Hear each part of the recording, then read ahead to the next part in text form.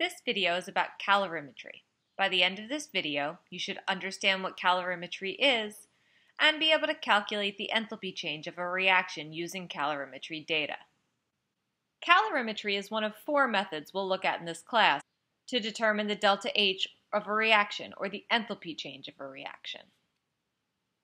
The definition of calorimetry is simply the science of measuring heat. In this class, we'll be looking at constant pressure calorimetry. Constant pressure calorimetry is calorimetry done at atmospheric pressure, which remains relatively constant throughout the course of the experiment. In order to perform a calorimetry experiment, we start with a calorimeter.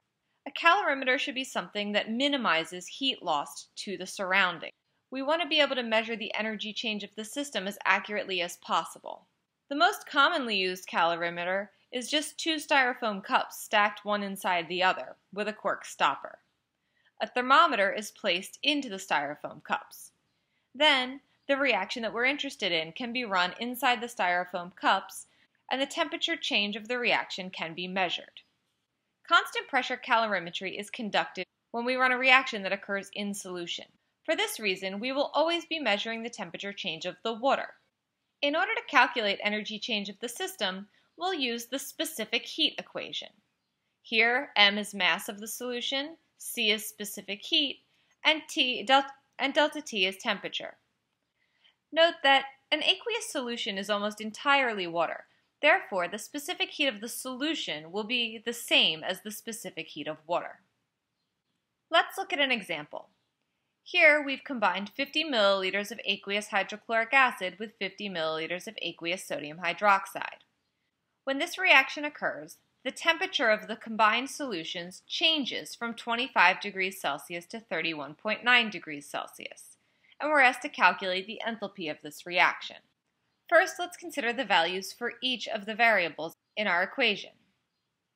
Since we've combined 50 milliliters of HCl and 50 milliliters of NaOH, our resulting solution will be 100 milliliters. Since the density of water is 1 gram per milliliter, this means we're dealing with a mass of 100 grams. Our specific heat is that of liquid water since this reaction is occurring in aqueous solution. And our temperature change is 6.9 degrees Celsius. Plugging this into our equation, we get an energy change of 2,900 joules.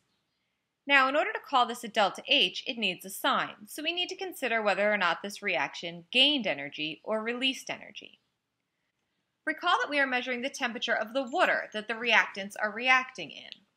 Since the temperature of the water went up, that means that the reaction released energy from the reactants to the water. Therefore, this is an exothermic reaction, and our delta H will have a negative sign. Here's another example to try on your own. Pause the video here and give this one a try. It's a little bit tricky, so when you come back, I'll reveal the answer. Welcome back. First, in this problem, we needed to determine the energy change associated with the dissolving process. Again, we're measuring the temperature of only the water. Therefore, in this case, only the water is the mass that we're interested in. Our specific heat is again that of water, and our temperature change is 9.4 degrees, giving us a Q value of 2,950 joules.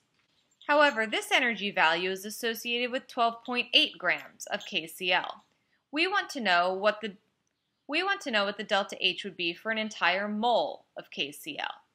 Over here, I've used a proportion to determine the delta H for one mole of KCl, and then convert it to kilojoules per mole as the question, as the question asked us to. That brings us to the end of this video. Let's review our goals. First, we looked at what calorimetry is, and then we looked at how the enthalpy change of a reaction can be calculated using calorimetry data.